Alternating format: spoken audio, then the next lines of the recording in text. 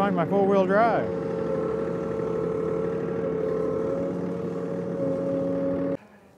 I've been busting to get this 3046R out for the uh, snow removal test.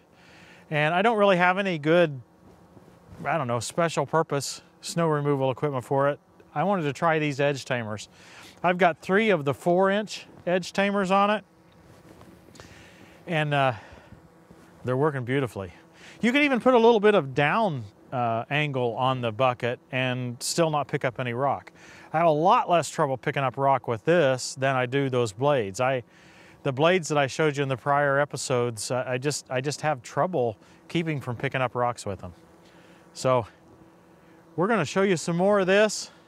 Let's get started.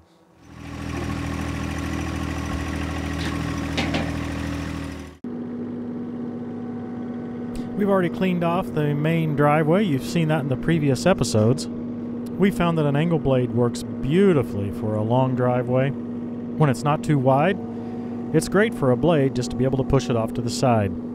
This area that we've got left is more like a parking lot, you might say. We need to push the snow all off to one end of it. I sold my snow pusher for the 1025R. I'll talk a bit more about that a little bit later. The appropriately balanced snow pusher might be a great tool for this particular application, but overall I didn't find it to work very well for my situation. Anyway, at this stage, you might notice that I'm not using the float position. Keep watching and watch some of the symptoms of that, and then we'll switch to using the float later in the episode.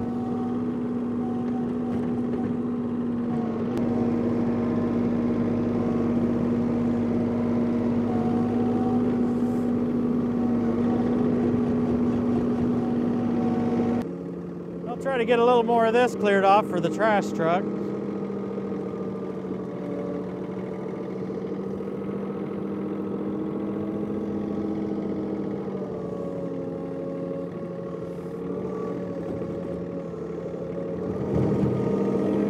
The brilliance of this solution is how cost effective it is. It's, you know, just, I don't know, $100 for a pair of them, something like that. It may be a little more now. But, uh, it's very cost effective and it makes your tractor much easier to, to use to push snow.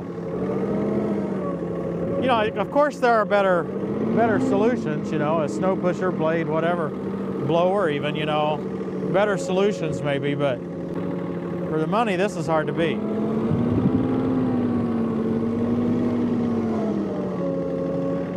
A lot of you on our channel have bought these edge tamers and have, we've had some just some great comments and Folks seem to really like them. One thing that I would encourage you is that these were invented by brothers and the whole idea, they got the idea and started the company and, and you know, they've started to make them. And my encouragement would be that you buy them from Edge Tamer, edgetamer.com.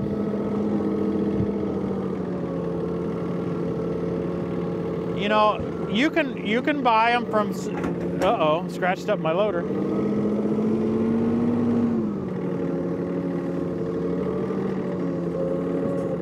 You can buy the knockoff brands, and they even say Edge Tamer. They've, they've, they've copied not only the product, they've copied the name. Unfortunately, they haven't copied the product very well.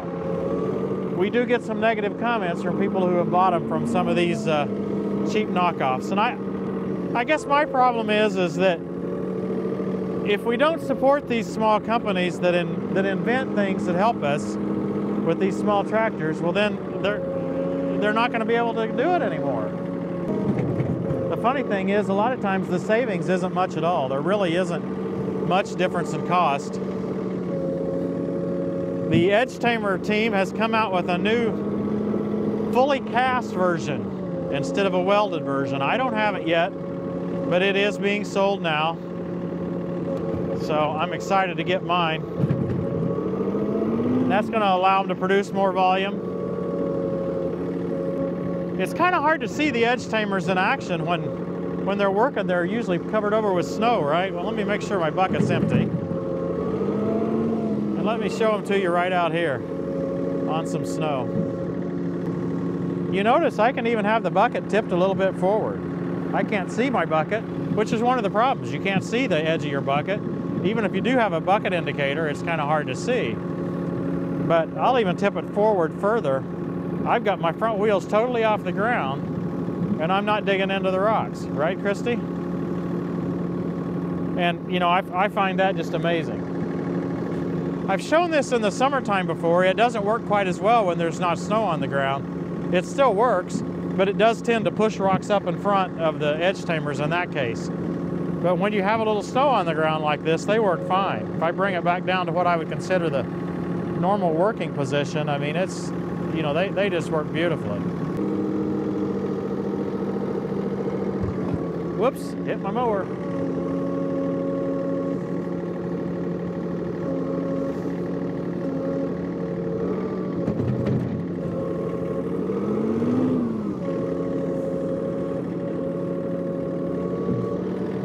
Well, Christy, the 3046R is working great, but it's got a one-piece seat, so I wasn't able to put the heated seat cover on there.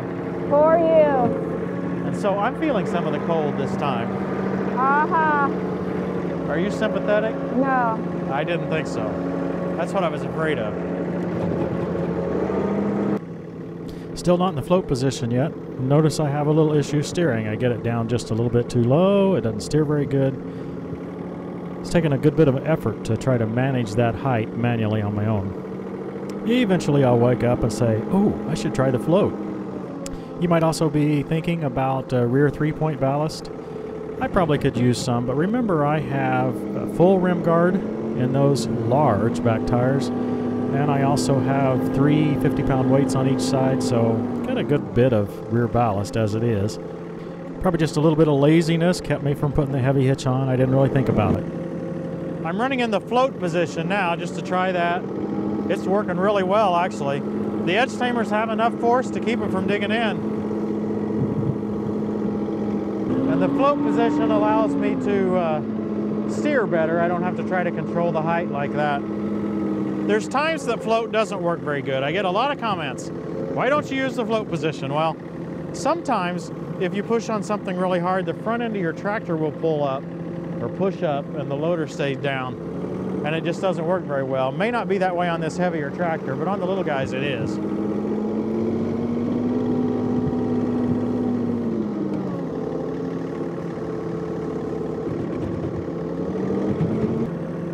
Should have got the cab, Christy.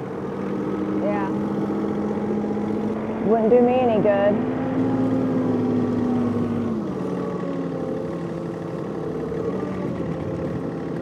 No, for the tasks I've got in mind for this tractor, I don't think I don't think the cab is going to be uh, that important. This one would have been nice.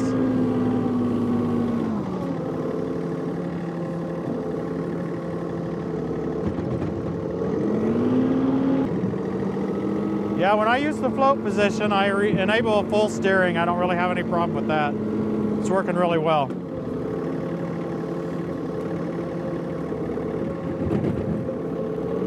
When I used the snow pusher on the 1025R a couple of years ago, I really couldn't use the float with it. It, it just pushed it down and I had all kinds of trouble steering. So, it all depends on the attachment and the tractor.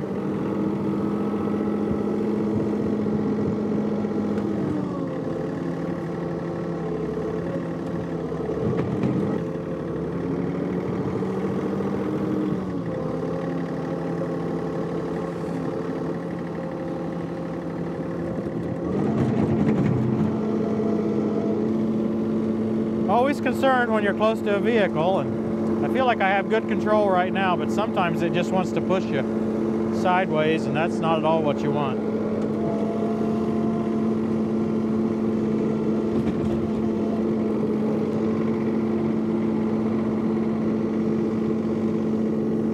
See if I can get in there so I can get in the door of the truck.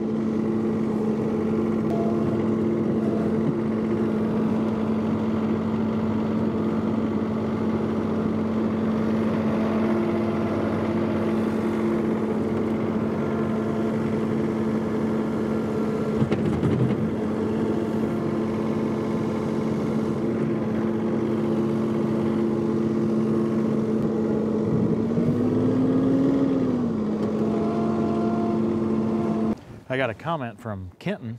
Oh, you remember. Kenton, Yeah, right? He had used his edge tamers today and was was just bragging on them a lot. You know, a lot of people use only their bucket for snow removal, right? Uh, we don't have a lot of snow, No, especially if we get a little further south yet. You you just don't get that much, and so it's it's just not worth investing thousands of dollars in specific snow removal These equipment. take up very little space too. Storage, I hadn't even considered that. Yeah, A We- blade is big. yeah, and so uh, uh, Tom and Randall use them.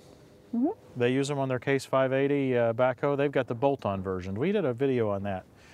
They really get along well with them, and so yeah, I I think if if if you're tight budget and yet you're having some trouble with gouging on, on the rock, I think this is uh, this is a good solution. EdgeTamer.com.